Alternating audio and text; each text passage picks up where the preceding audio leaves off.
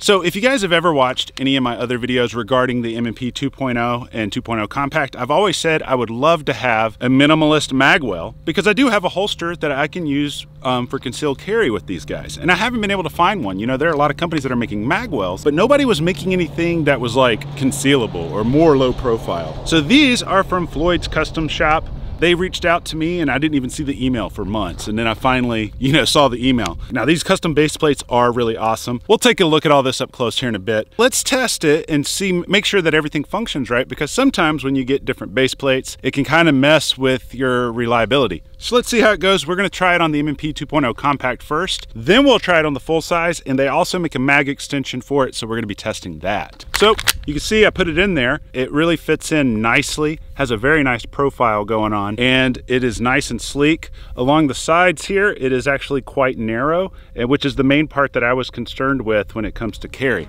So let's see how it functions.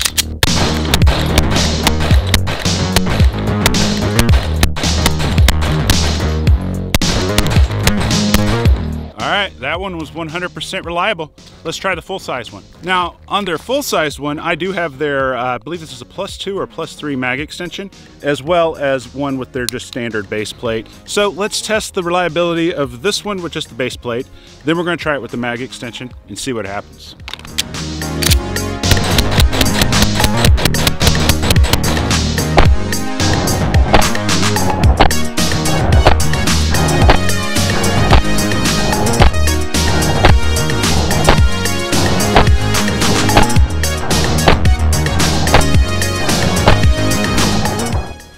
Right, so that one ran pretty nicely. Very easy to control these things. I can't express enough how much I love the M&P 2.0s, especially with the Apex trigger. But this magwell just makes it so much easier to hang on to by giving you a little bit of a lip underneath here.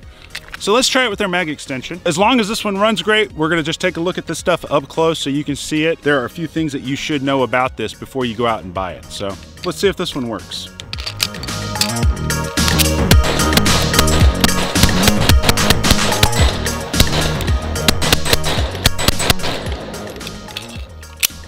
I thought I heard a car pulling in, but that was just the echo of the gunshots. So let's take a look at these up close and see what we see. Over the past year, year and a half now, we've been customizing the M&P 2.0 full size as well as this compact model. We'll go over what all I've done to these guns here in a minute so you guys can see, you know, what all's been done to these and if it's something that you want to get. When we first started, we got the M&P 2.0 full size right here. I went ahead and did the Apex flat face trigger because it will change your life. I will show you what I mean when we dive up close in a few minutes. I also had the slide milled by my buddy over at Maple Leaf Firearms and it was Cerakoted by Carl at Legion Precision and he actually named this toolbox camo. Kind of funny, huh? You won't be able to get the slide work though because Maple Leaf Firearms did stop working on it. After that, I got the Texas Black Rifle Company compensator on there, and then I got a set of Trijicon HD XR night sights. On the M&P 2.0 compact, I really haven't done that much to it. I got the Apex Freedom Flatty in there, the Faxon Firearms barrel. I got the uh, XS F8 sights on there. We got this compensator that we're gonna be talking about today on there. Oh, I forgot to mention, I got the True Precision barrel in here as well. But the one thing that I just wanted to get for both of these guns, magwells. And not just any magwell. I've been looking for a minimalist magwell for a very long time. There are tons of magwells for the M&P and the M&P 2.0, but they're always large. They're mainly competition magwells. And then if they do call it a minimalist magwell, it's still way too big. Well, I finally found them from a place called Floyd's Custom Shop. They actually reached out to me and said, hey, we got minimalist magwells after they saw my previous video about it and they sent them to me. And I gotta say, they're kind of interesting, but there are some things you need to know about these before you just head over to their website and pick them up. I will have links below for these magwells as well as their other parts. And I'll also link up the Apex triggers and stuff. I have coupon codes for all that. But let's just dive up close. Let's take a look at these. Let's see if they perform well or not. Then we're gonna go over my final impressions of them. So these are some mods that I've actually been waiting for for quite a long time. Like I mentioned earlier, we have finally found minimalist magwells for the M&P 2.0 series. We got the 2.0 compact and the 2.0 full size over here. And as always, guys, there's always pros and cons to anything. So we'll definitely be covering that. So first, let's talk about the 2.0 compact. So this one, I actually have it set up with a holster and we're, we're gonna see here in a little bit if these magwells make it print any more than they already do. So we'll test that out here in a little bit, but I actually have this one set up for everyday carry. I have carried this one quite a lot. It's definitely my favorite of the two because the compacts come with uh, extended magazines with sleeves so you can actually have a full-size grip. Only a quarter inch difference between the slides, not a huge deal. As always, there will be links down in the description below to pick up any of the stuff that we're talking about right here. And if you haven't seen the previous videos on the M&P 2.0s, I'll put a link to that playlist down below so you can go check that out as well. But if you only get one mod on this, you definitely have to get the trigger. Uh, it is just, let me show you. Take up, break, take a break. Aside from the magwells, we also have some base pads over here, as well as an extension from them because you have to use these base pads or you need to modify the base pads that you currently have so you can actually use them. We also have a compensator from them, which we will talk a little bit more about here in a little bit. Essentially, what these do is they replace that little tool that you have in the butt of the grip on the M&Ps. So you pull that tool out, this goes into place and then you lock it down with a flathead and you can actually see I was using a flathead that was a little bit too small and I actually accidentally boogered this one up a little bit. So I need to sand that down and get those burrs off of it. But that's how it works. And then you can see right here, it's beautiful. I mean, you got a nice little lip on the front, which is what everybody loves. But on the sides, it's not too wide. It's wide enough to give you a nice proper grip. This front lip does is it gives you a little bit more upward pressure against your trigger guard so you can get a higher grip on here and thus get more accurate shots as well as being able to reduce muzzle flip. Over here, this is the full-size M&P 2.0 that we started a little over a year ago. The slide was actually machined by Maple Leaf Firearms. However, he's not doing M&Ps anymore, so you won't be able to get this slide cut from him. But again, with this one, I have the Apex flat face trigger shoe in here. I love this trigger. Look at that.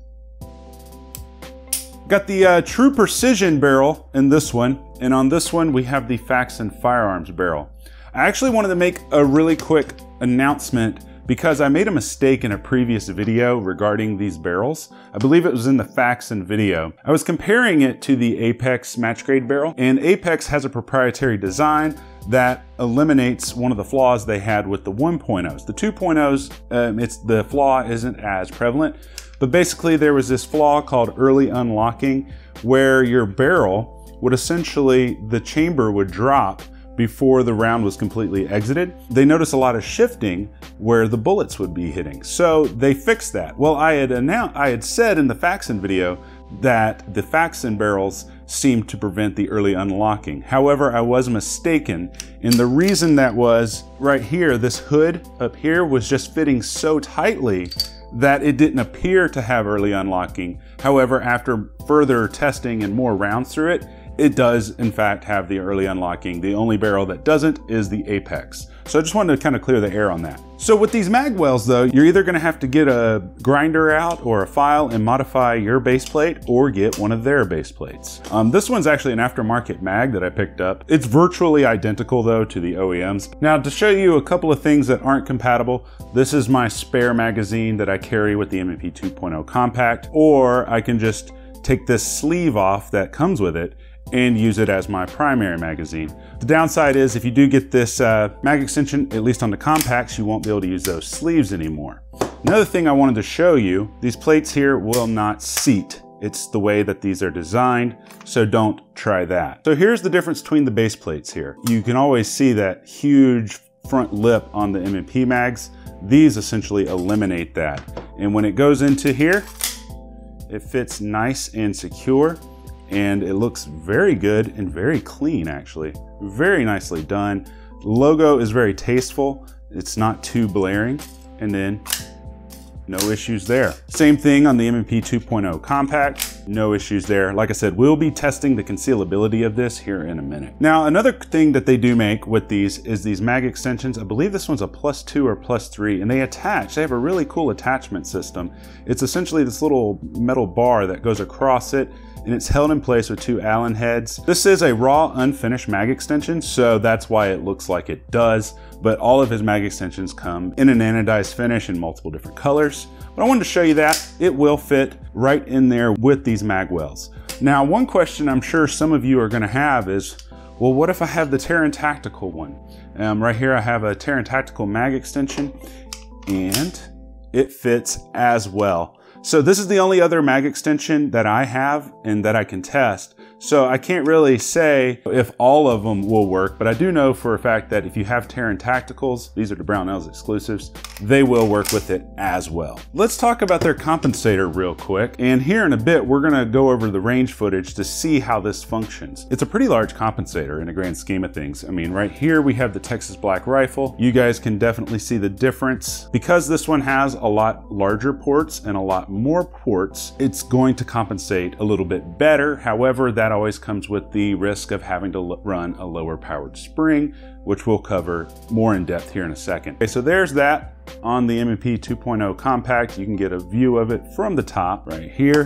And then just for kicks and giggles, let me show you the Texas Black Rifle one. Now I'm probably gonna go out on a limb and say that this compensator on the left from Floyd's Custom Shop is probably more geared for those who wanna just have fun at the range or are a competition shooter. You can see on the left here that this compensator on the compact makes it longer than the Texas Black Rifle compensator on the full size. So just keep that in mind. It might not be ideal for carry due to the size, but let's jump up top real quick and I wanna talk about how this compensator functioned and all the magazine extensions and everything functioned at the range. So back up top. Now you're probably thinking, well, bro, why would I buy a magwell if I gotta buy a different base plate? Well, there's two main reasons. Reason number one, these base plates add two extra rounds to the capacity of your magazine as well as being very flush fit. You know, like you saw up close, they sit very, very flush and very, very nicely to the gun. But let's see how they conceal on your body.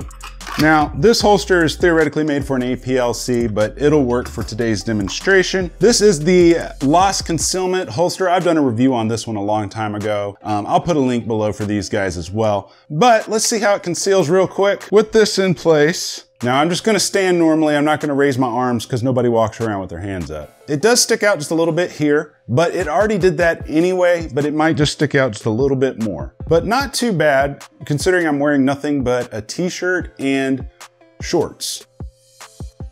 What do you guys think? And then here it is, you know, if you need it, you got it there and you can press out. Funny thing about this holster, every time I made a video about these holsters, everyone always corrects me. It's like, it's LAS concealment. Maybe it is, maybe it isn't. But I'm not gonna say LAS because I wouldn't call NASA NASA. That just doesn't make sense. If there's a vowel between two predicates, you typically just pronounce that. Rant over. So they function really well, plus they add two rounds of capacity. The next reason why this is totally worth the money is these magwells are literally half the price. Glock magwells are always about $100, but you can get the magwell as well as the plus two base plate for I think 80 bucks, depending if we have a coupon code or not. Check down in the description, see if there's a code or not. Um, if there's not, that's because I didn't get one. If there is, hey, save some money, you know? So that works really well. Now, interestingly enough, I did test it on an aftermarket magazine for the Smith & Wesson M&P, and the main difference is with this one, it has the rounds on the back, whereas the standard has them on the side. I don't remember what brands these are, but my buddies at the Mag Shack sent it to me, and just check down below for all that good stuff. That one ran without a hitch as well. Honestly, with the magwells and their base extensions and base plates, they run really good. I honestly can't find a con about them. Now let's talk about the compensator. Depends on what you want to use it for. If you're going to be using this for a competition gun, then it is a badass compensator. If you're going to be using it for concealed carry or duty carry, do not recommend it. Main reason is you gotta use an 11 pound guide rod spring. I can't, I think it's an 11 pound or a 13 pound, one of the two. Right now, I actually put a 15 pound spring in here and this is how the gun cycled.